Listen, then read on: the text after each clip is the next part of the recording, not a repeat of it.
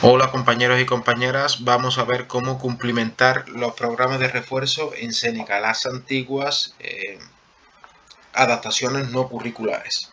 Pues empezamos. Primero nos vamos a Seneca, en nuestro perfil de alumnado, pinchamos en alumnado, pinchamos en gestión de la orientación, pinchamos en programa de atención a la diversidad ANEAE y pinchamos en programa de refuerzo ANEAE Educación Básica.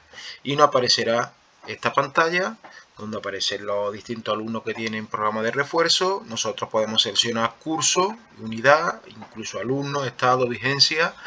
Eh, yo he seleccionado segundo de la ESOB y le doy a refrescar. Me salen los alumnos, que los he borrado para que no aparezcan los nombres.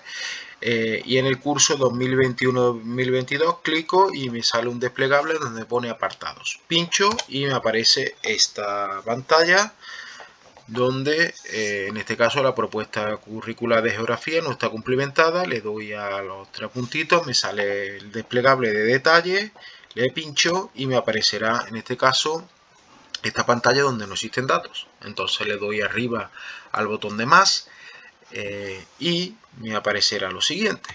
En este caso, los criterios de evaluación de segundo de la ESO de mi materia, de Geografía e Historia. Puedo seleccionar los que yo considero oportunos o seleccionarlos todos, como veis. Le doy a validar y ya tengo eh, cargados los criterios de evaluación. Después volvemos otra vez al desplegable de... Ponemos otra vez al, menú de, de, segundo de la ESOB, buscamos al alumno, volvemos a pinchar en apartados y nos vuelve a salir otra vez lo mismo como que no está cumplimentada. Pero bueno ya pinchamos otra vez en detalles.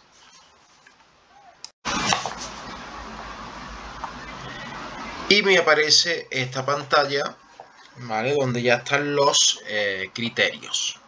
Entendido entonces ahora lo primero que tengo que hacer aquí eh, como veis me sale a mí el desplegable la carga inicial ya ha sido ejecutado lo primero que que hacer es cargar le dais a cargar para que os cargue todo lo que es eh, legislación de segundo de la ESO.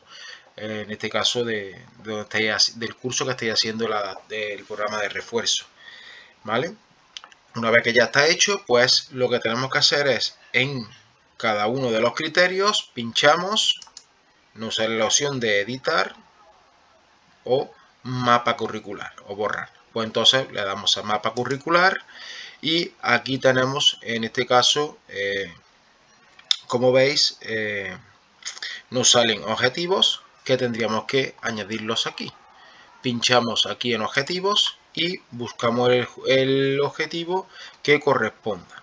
Entendido si es varios pues clicamos y una vez que lo clicamos pues ya lo tenemos cumplimentado.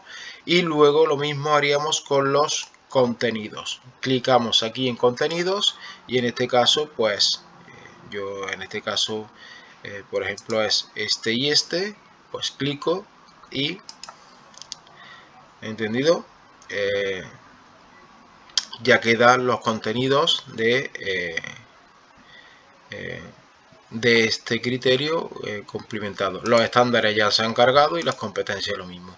Pues habría que hacerlo con todos. Una vez que ya hemos lo hemos hecho, pues ya tenemos nuestro programa de, de refuerzo cumplimentado. Pues espero que haya servido de ayuda y nada, un saludo para todos.